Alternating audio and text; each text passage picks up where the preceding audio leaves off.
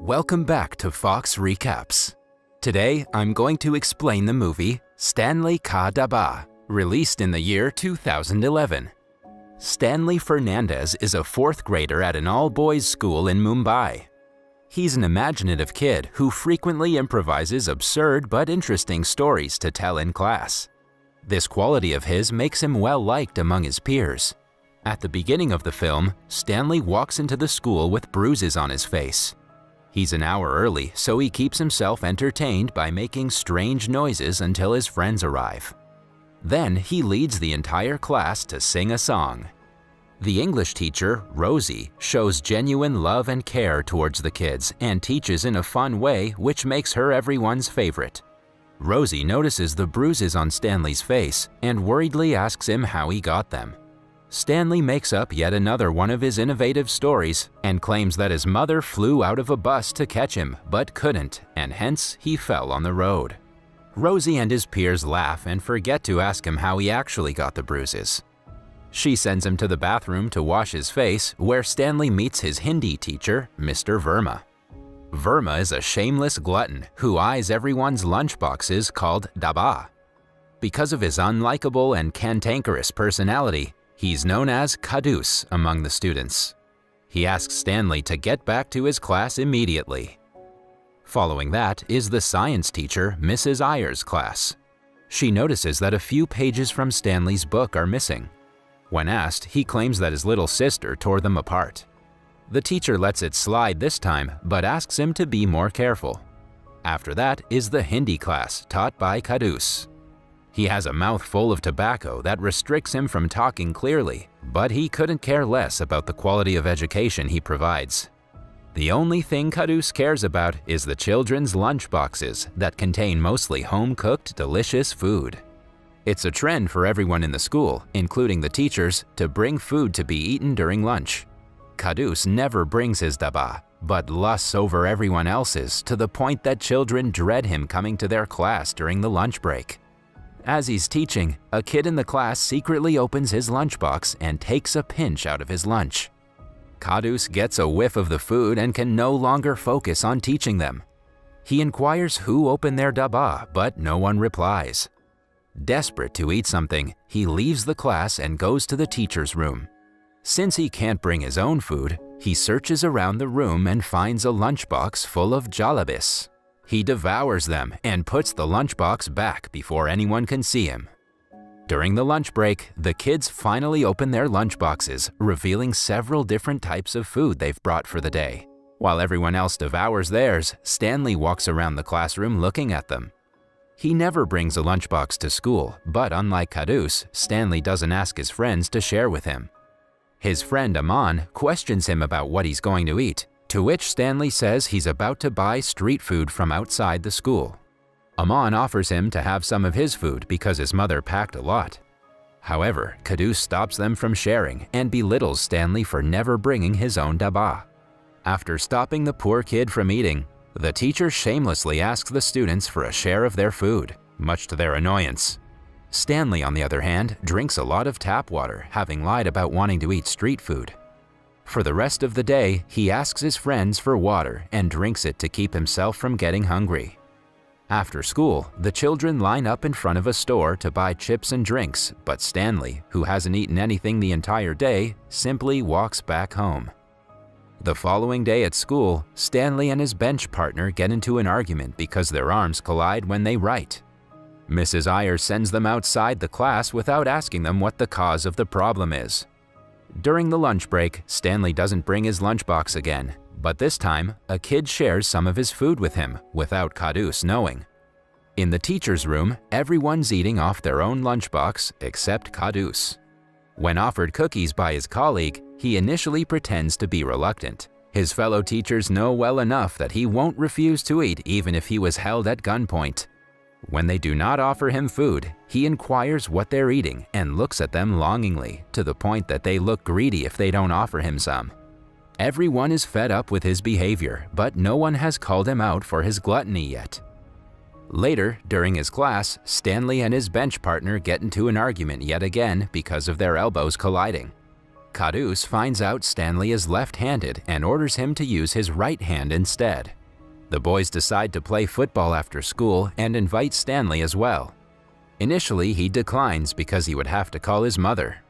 Aman gives him a phone hidden in a secret compartment in his bag. Stanley pretends to call someone and claims that his mother allowed him to stay out longer. After school, the boys play, eat, and have a lot of fun together. The following day, Rosie marks Stanley's essay and laughs at his hilarious style of writing. Impressed by the creativity, she even hands him a toffee to praise his work.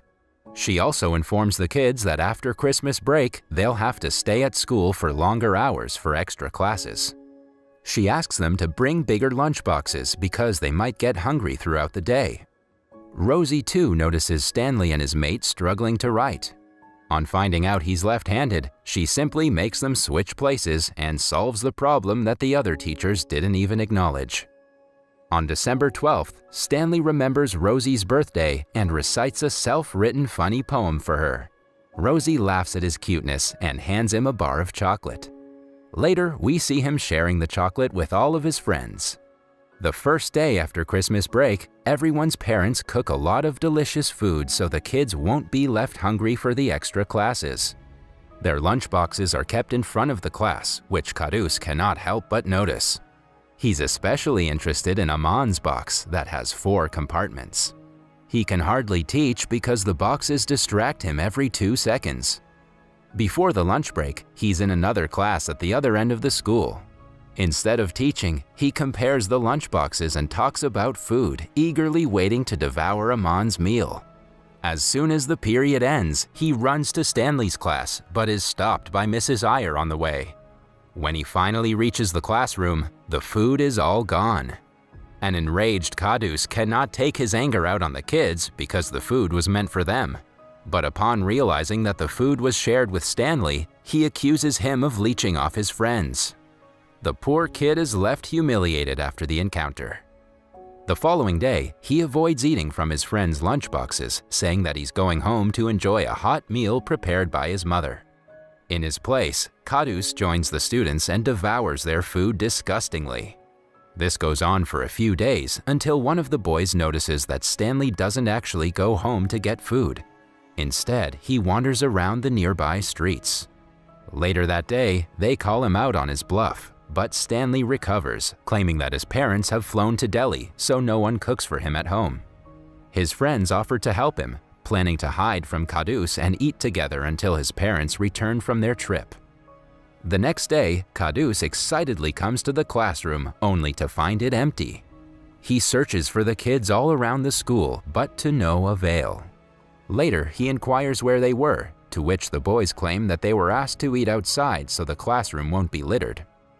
For the next few days, they tell him a different location each time, and Khadoos is left hungry every day. He grows irritated and impatient with time. One day, he finally finds them eating on the rooftop and sees that they had been hiding from him for Stanley. In a fit of rage, he belittles Stanley and orders him to either bring his own dabba or stop coming to school. His harsh words hit home for Stanley, and he stops coming to school starting the next day. During his absence, the audition for an inter-school dance performance takes place. His friends know that Stanley would be the perfect candidate, but they don't know how to get a hold of him. They even try to call his mother's phone number, but find out that the number doesn't exist at all. They believe it to be some kind of mistake and dismiss it. The teachers start to miss his presence in the class, including Khadoos, who feels bad that he lashed out at the kid. One day after school, the guys find Stanley outside and tell him about the dance program. Following that, Stanley goes to the location where the rehearsals are taking place. He watches the children practicing from afar and learns the moves secretly. As days pass, Rosie misses him in class and is worried about him. Aman and the group finally tell her the reason behind Stanley's absence. Rosie is disgusted and horrified at the fact that Khadoos messed with a student's education because of a lunchbox. During the lunch break, she approaches him and offers him a box of cake. When Khadoos pretends to hesitate, she asks him if he feels accomplished after bullying his students. She even calls him out for being a glutton and threatens to tell the principal about this. A scared and embarrassed Khadoos begs her not to do so. That afternoon, Stanley goes to the rehearsals again and starts practicing alone. A dance choreographer notices him and invites him to participate officially. The following day, Stanley brings his own dabba to school for the first time in his life. It too has four compartments, all filled with delicious homemade food. He hands the dabba to Khadoos, asking for permission to continue coming to school. An embarrassed Khadoos cannot help but cry. The principal finds out about the matter and calls Stanley and his group to the office. He informs them that Khadoos has resigned from his position and left a handwritten apology letter to Stanley. In the letter, he promises to never return to the school again. On the day of the dance program, Stanley is made the host because of his charms. Everyone praises him and his performance, much to his delight. After the program, Rosie approaches him and offers to give him a ride home. Stanley declines, claiming that his mother is waiting for him in a car. However, he's proven to have lied when a while later, the principal drives him home. Finally, it is revealed that Stanley is actually an orphan child laborer at a restaurant run by his uncle. The man slaps the kid for being late and asks him to get to work in an instant. He has physically abused Stanley several times, which explains the frequent bruises on his face. Stanley wants to fit in with his friends, hence he creates bizarre stories about his parents.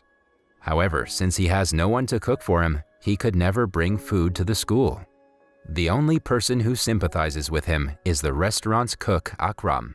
He was the one who packed some restaurant leftovers for Khadoos. He promises to do it every day without his uncle knowing. The next day, Stanley goes to school with a dabba full of food made by Akram. He shares it with his friends while boasting about how his mother prepared everything. In the last montage, we see him share the dabba with the school teachers, his friends, and the janitor. That was all from the video. I hope you liked it. Subscribe for more content like this and hit the like button to help us out. Also, leave a comment if you want us to recap your favorite movie. Until next time, take care.